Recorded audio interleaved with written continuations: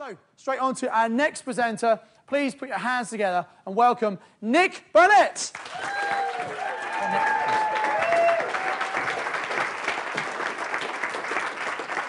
Thank you, everyone. Hi, my name's Nick Burnett, uh, obviously Mastermind 12. Uh, I've seen this slightly differently. I've themed it as a game of two halves. And I thought this was quite apt because the meaning of it is, it's, you know, it suggests that the losing team or individual may well make a comeback in the second half. Um, so, so anyway, you'll probably see the results uh, pretty soon. But what I'd like to do, before I go into my background, um, can anyone tell me where this picture could have been taken? London Bridge, bang on. Now, actually, this photo could have been taken in any city in the UK, in any city in the developed countries. Um, it's basically, it's the corporate world, it's the rat race. These people are about to plug into the economic machine, and it was where I was about three months ago. Uh, now, my background is after graduating, I did six years in the tech and comms industry. I then went on into uh, management consulting, all of which gave me lots of travel. It gave me kind of exciting roles and projects working with big names, both nationally and globally. Um, big challenges, it paid pretty well. So, so why sideline this? I mean, things were going pretty good, right? But the problem is the, the, the issues I had are the same issues these people have here. So some of the observations I picked up when I was looking at this photo, overall, it's quite, it's quite dark in there. And, you know, the corporate world can be a pretty dark place to work. Um, plus, people's heads are down, they're looking down, their faces are pretty, you know, downbeat. Um, and, and it's exactly where I was. So I wasn't happy like these guys uh, as well. And the reason being is because my, my health was going south and I didn't have time to do the things I wanted to do. Uh, and when I did have time, I was too tired anyway to kind of have the motivation to do them. So then came along, you know, I guess in a way, the answer. And uh, a friend handed me a copy of Property Magic by Simon Zutshi. Uh, so I was you know, a little bit skeptical. I read it for the first time, and I was like, okay, yeah, that's pretty interesting. I then started to reread it, and it started to chip away at certain things, like I had limiting beliefs about certain things. Um, I also had a fair bit of risk aversion coming from management consulting. You know, that's kind of a default. Um, but also, it changed my attitudes towards property. Now, I always thought, there's no way I'm going to be able to own in London. There's no way I'm going to be able to kind of make any impact in property. Um, plus, I hated the idea of mortgages and debt. I mean, absolutely hated it. Um, but then after reading it a couple of times, next thing I know, I'm sitting in front of Simon. I'm on his quick start program. Uh, that obviously incentivized me enough to go onto Mastermind Accelerator, and clearly that led to this um, today. So that was fantastic, and it was given to me, this book, um, by a certain man, and uh, he, he was also the reason that, um, that kind of inspired me to come here today. That man is this guy here, Mr. Stephen Marshall. Uh, ironically, he was stood here about a year ago today, giving his top five speech on MM10. Um, don't be fooled by his boyish good looks. He's actually a lot older than you think. Um, but, but he is, he is uh, I know you're watching, Steve, so apologies. But um, anyway, massively, massively kind of grateful for, for his input. So we, you know, we ended up having some conversations around property. My kind of original aim in the summer last year was to get a couple of student lets, maybe in Leicester, because with my money, I could afford to buy a couple of places there for cheap. Um, with my money, uh, I, I hasten to add. And you know, through conversations, we actually realized that we shared the same values. We wanted the same kind of outcomes in life. And, and then we started to work together. So where we're at today is we have our company, Positive Property Group in London. It's, um, you know, it was, it was formed, I guess, officially very recently but its kind of true inception dates back to last year. And it's, it's going well. And, you know, at a very high level, what do we do? We do HMOs in London for young professionals. Um, and we do them pretty well. Our strategy, it's, it's all about offering the kind of the, the basically the great products to young professionals in London. Um, they're all kind of high yielding. They're inner London, um, great cash flow for each property, and the capital growth prospects are amazing. I mean, I don't know if you've heard this week, the, the house prices in London have gone up by 9.7%. Um, well, not the prices, but the value, which is huge. And that's why we play in London. Uh, and of course, the returns on investment are pretty strong as well. Our target area is the Docklands uh, and some surrounding postcodes as well. And the reason why we've picked the Docklands is it's pretty simple. I mean, you've got Canary Wharf there, major financial hub of the UK. Um, and, and also around that area, you've got, you've got great shopping, you've got great attractions. So it's, it's very kind of attractive as an area. And most of our tenants work there as well. So the ones which don't will then commute into the city or to central London. So the commute time is pretty short. And love them or hate them, tenants are the lifeblood of any HMO business. And our tenants, um, you know, they provide the cash, which then, you know, turns into the kind of revenue um, and the income for our business, which leads me nicely on into what's been achieved this year since I started Mastermind. Uh, my, my original aim was to start top to bottom, but I'm pretty sure you're all looking at the bottom row right now, so let me just start there and work back up. Um, so we've added nearly 40 tenants to the portfolio. Uh, we purchased one and a half million pounds worth of property. Uh, we've raised best part of half a million in investment. Uh, the profit per calendar month comes in at just shy of 10k. And in terms of what comes to positive property, it's basically it's about an extra 70k a year. Um, now, coming into this, I didn't have any property experience. I didn't own any property. Uh, so, whilst I would have liked to have done a lot better, I'm a little bit kind of self-critical. I guess this isn't too shabby. So, so I'm pretty kind of pretty proud. But so, thank you. A couple of, couple of things to point here. Where I've got gaps in the numbers, these are three managed properties, which we don't own, but we look after on behalf of landlords.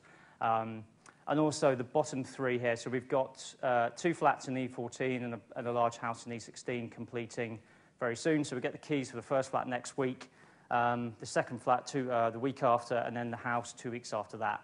They all need work. Um, uh, you know, we've got things running sim simultaneously, which is a little bit daunting but it's also massively exciting, not least the fact they're pulling in the best part of a K per month for us, which is great. But this didn't really kick in for me until um, halfway through the journey on Mastermind. And something happened at half time, at the half time point, which really changed everything. And that something was this man here, our very own Andy Haynes. Uh, so he stood up here, and actually, I think he did it yesterday to MM13 he stood up and he gave a really inspiring speech. It was also very comforting for a lot of people as well. But for me, it was a massive kick up the arse. And I was like, because I was complacent. I was in my job, you know, whilst I was working abroad and, and things, um, I was too comfortable. And I went away from that session with one thing playing in my head over and over again whilst I was on the train on the way back to London. And it was the same statement. It was, I can't keep doing the same thing over and over and expect a different result. And this is exactly what I was doing. So um, it also coincided, as I mentioned, with being working abroad. So daytime job, um, you know, working out in, in Europe, and evening job was, uh, was the property stuff. So it did put a strain on the business, um, and it was difficult. So when I got back to the UK, uh, I decided to take a six-month sabbatical from my employer, uh, which started three months ago. And that has had uh, a pretty significant change. I mean, I can't, I can't be modest about that. It's been huge. Um, and it's been fantastic. And results aside, the intangible benefits, which I'll talk about in a minute, um, have actually, they're probably more important, to be quite honest. So let me run through a couple of case studies. This is the first purchase I ever got. Um, six-bed licensed HMO, not your average first-time buy, but uh, nonetheless, it's definitely worthwhile. Uh, it's in the Royal Docks. Um, you can see Canary Wharf in the, uh, in the distance. But, you know, great quality there. The good thing about this one, we, we picked up the keys um, at about 12 p.m., I think, on the day, day we completed. Um, by about 8 p.m., we'd already filled the house.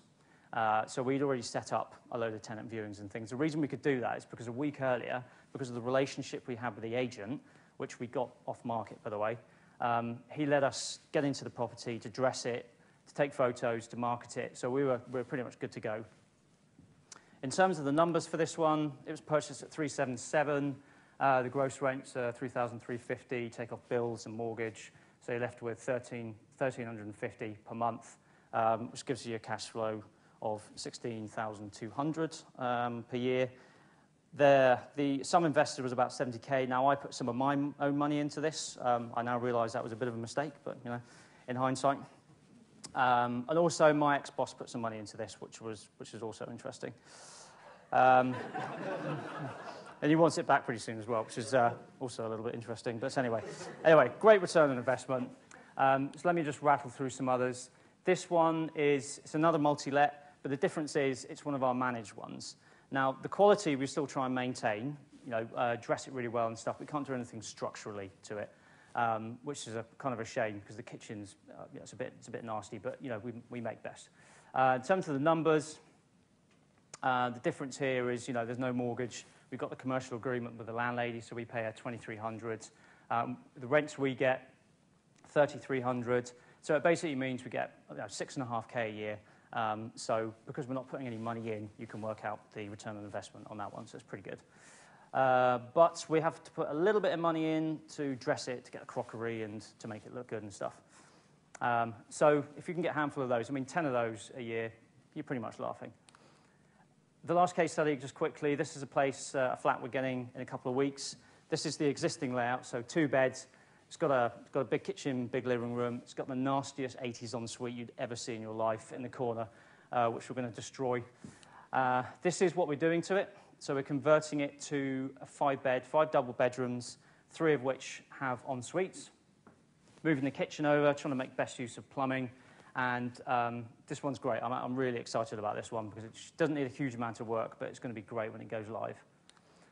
And the numbers, again, um, just kind of jumping to the bottom, 26.5K a year, um, deposit and works money in, but it still gives an ROI of 20%. In terms of the company, where we're going from here, it's pretty much the same. You know, we want more HMOs. Uh, we want to double our portfolio at least next year. We're also looking into things like doing some flipping, doing some developments, you know, the commercial and resi stuff. Um, we're growing the team, so we're recruiting at the moment, which is really exciting. And that means we can uh, spend more time on our education, but also we can give back as well because we've amassed some seriously good knowledge about HMOs in London. Um, the network and the relationships goes hand in hand, but clearly, you know, we want to enjoy ourselves and, and do the things we love. So just quickly, what did I get personally from, from Masterminds? Uh, I've got kind of inputs on the left-hand side and outputs on the right. Again, sorry, there's still some management consultant in me. Um, but the things which obviously you get education. I mean, that's a given. But you also, from this, from this group here, um, you, get, you get incredible networking, but you get accountability and you also get the challenge. And then that then translates into the kind of intangible benefits, which, which I got, but only if you do something about it. And the biggest change for me, um, and without doubt the most important, is I've been able to get a lot closer to my family. And by family, I mean kind of my mum, my dad, and my brother. Uh, that was completely unexpected and without doubt like the most special thing. Uh, in terms of in terms of kind of options, yeah, I've got options. If I think about you know my decision to return to work next year, um, clearly I have a bit of a decision to make around that one. Um, you know, no more said on that. Uh, in terms of um, funds, there you go. fun and friendships, yeah. I mean, I've made some great friends here. I've had, I've had a lot of fun, but it has been has been tough. And I'd like to say I've gained a lot of time, but actually I've just filled that time for property stuff. Um, but at least it's my own, my own kind of stuff and my own doing. Um, just quickly to give some shout outs, um, obviously to, to the kind of the MM12 family here. Um, it's been incredible. It's been great getting to know you, and I hope we continue this journey in the future. Um, also, big thanks to my buddies, um, especially to Amit for believing I could stand here today about six, seven months ago. Um, Big thanks to Mike Frisby, Mark Deering for the coaching and uh, mentoring, which was invaluable. Um, also, a massive thank you to the PIN team, to Andy, and also to Simon, my ultimate teacher. Um, but the biggest thanks does have to go back to Steve Marshall because without his support, his guidance, and his challenge, I definitely wouldn't be standing here today. Uh, so, for the record, thank you, and you won't be hearing it again. You can just watch the YouTube clip in the future. Uh, some top tips, similar to what we've heard already. So there are some themes. And these do kind of go in order, actually. The first one is start believing in yourself. If you don't, no one else will. The second one is around focus. And I'll put it four times here because you've got to hone down so much that that's the only way for it to work. I mean, generalists will do, do they'll do well, but specialists are the one, ones in this world which really rock it. Um, number three is around trust in the process and enjoying it. Now, you can, you, know, you can get the results, you can get the shiny trophies and stuff at the end, but, but I've found the people which kind of are interested in what you've achieved, they'll acknowledge what you've achieved, but actually it's the process and the journey you took, and that's, what's that's what they're looking to emulate, and that's what they're interested in. Um, finally, take action, or number four, just do it. I mean, take any action, do anything but nothing. And, and you know, finally, just embrace the unknown. Um, I got some incredible benefits from this, not least you know, the, the monetary results. So who knows what you could, you could achieve there. Um, but I'll leave, you, I'll leave you with this. I mean, I definitely felt like from that halftime point, I really made a comeback. And you know, if you haven't already, when is your second half going to start? So, Nick Burnett, thank you for your time. And it's been a massive honour and a pleasure all year, and especially today. So, thank you.